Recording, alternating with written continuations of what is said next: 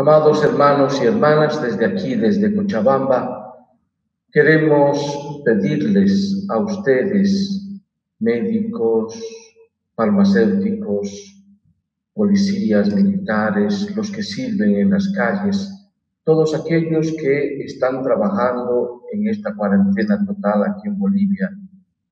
Queremos enviarles nuestro aliento de ánimo, que puedan saber que apreciamos muchísimo lo que ustedes pueden estar haciendo en este servicio, sobre todo defendiendo la vida, la salud.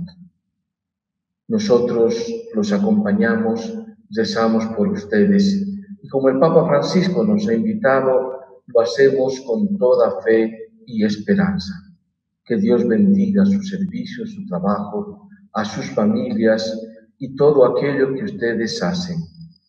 Pedimos por todos aquellos también que están sufriendo gravemente en esta situación por la enfermedad.